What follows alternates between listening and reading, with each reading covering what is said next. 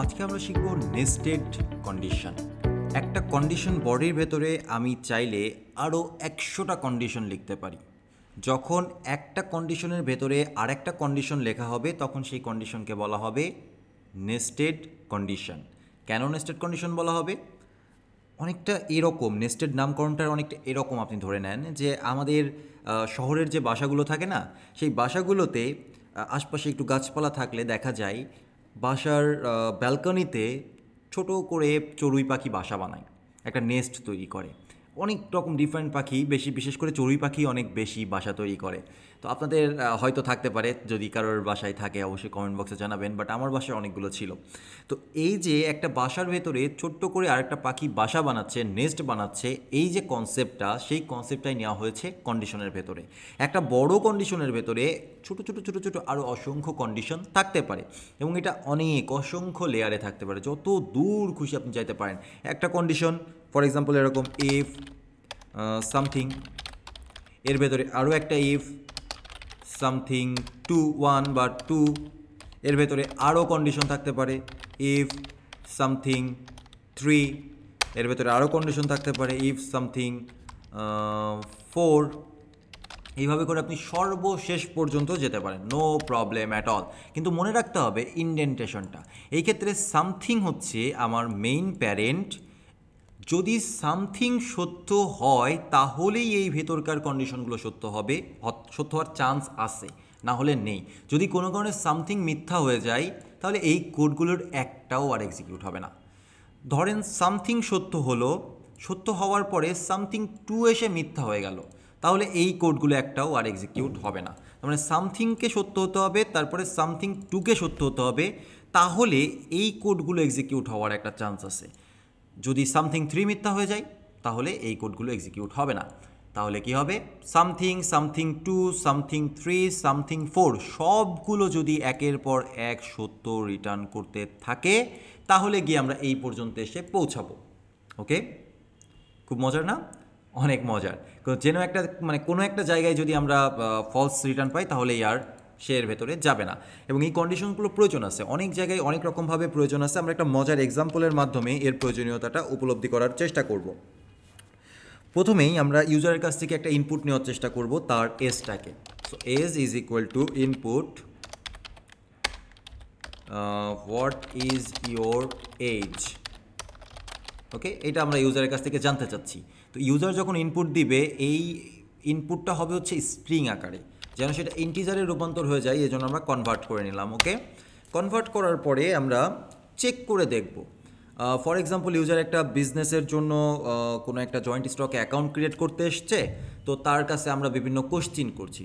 কোনো একটা question false হয়ে গেলে পরেই তাকে আমরা মানে অ্যাকাউন্ট রেজিস্টার করতে দিব না, তার কোম্পানি রেজিস্ট্রেশন করতে দিব না ওকে তো আমরা প্রথম যে কোশ্চিনটা করলাম, সেটা হচ্ছে হোয়াট ইজ ইয়োর এজ আমাদের প্রথম ক্রাইটেরিয়া হচ্ছে এজ এইটিনের বেশি হতে হবে, এটা হচ্ছে ক্রাইটেরিয়া তো আমি কন্ডিশন চেক করি if age is greater equal eighteen আঠারো অথবা আঠারোর থেকে বড় হয়, তাহলে তো ঠিক আছে, আমি এখানে পাস লিখে দিতে পারি। পাস লেখার অর্থ হচ্ছে, আমি এই কন্ডিশনটা আপাতত কিছু করতে চাচ্ছি না পাস করে দিতে যাচ্ছি পরে আমি করব কিছু একটা অথবা না করলে নাও করতে পারি, ঠিক আছে?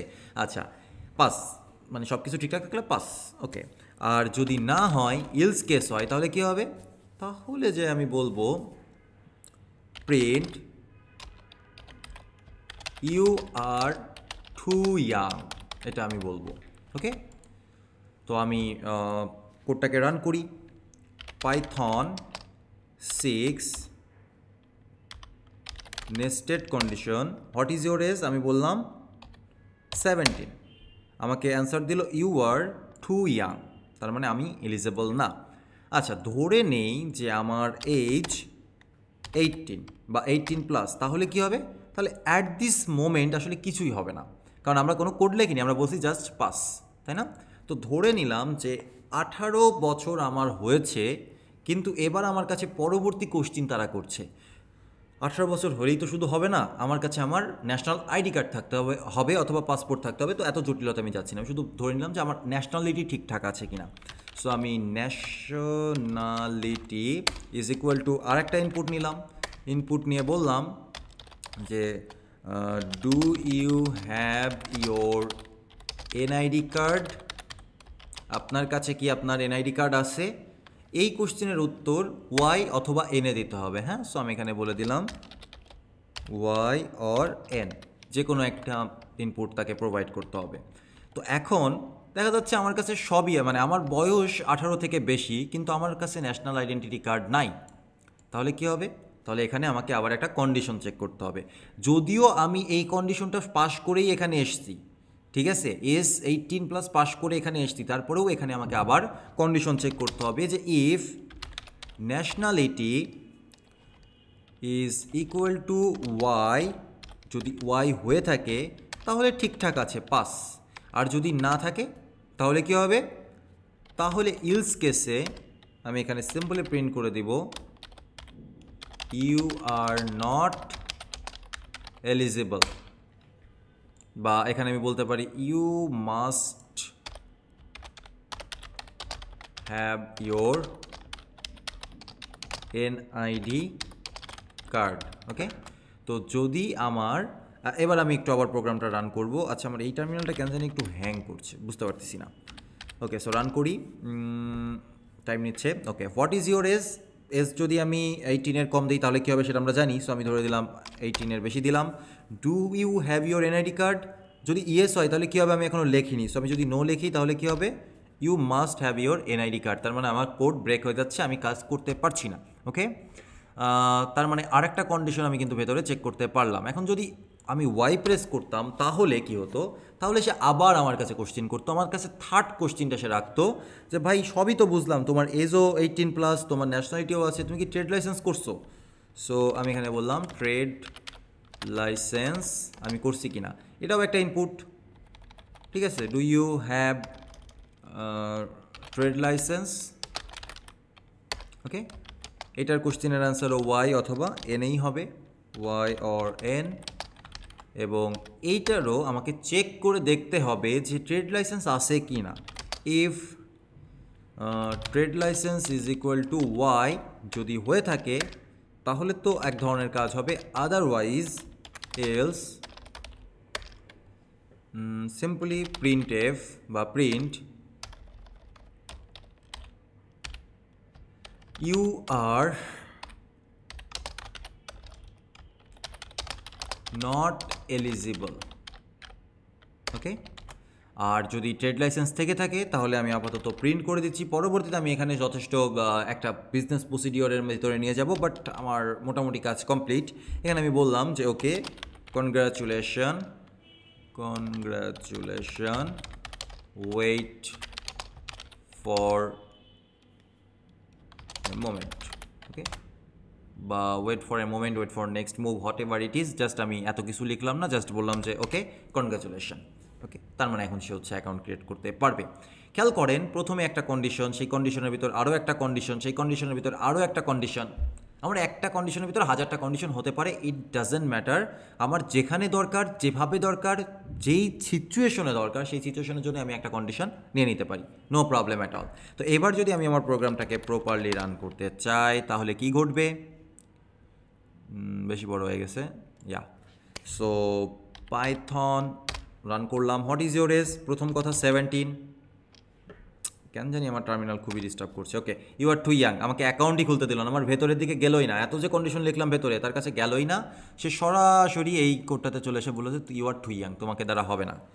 এবার যদি আমি যাই, তাহলে আমাকে বলবে আমি ধরলাম যে আমার এস টোয়েন্টি ফাইভ আমি দিলাম twenty five do you have your NID card বললাম যে না, আমার কাছে এনআইডি কার্ড নেই। এবারও আমাকে অ্যাকাউন্ট করতে দিল না you must have your NID card okay so এটাও হলো না। এবার আমি ধরে নিলাম যে আমার এস টোয়েন্টি ফাইভ এবং আমার কাছে এনআইডি কার্ড আছে। এবার আমাকে বলছে do you have your trade licence আমি বললাম, না, আমার কাছে ট্রেড লাইসেন্স নাই। আমার এস টোয়েন্টি ফাইভ আমার কাছে এনআইডি কার্ড আছে, কিন্তু আমার কাছে ট্রেড লাইসেন্স নাই। বলো ইউ আর নট এলিজেবল আমি এলিজেবল না। ওকে এটাও মেনে নিলাম। এবার আমি সব কিছু করে নিয়ে গেছি।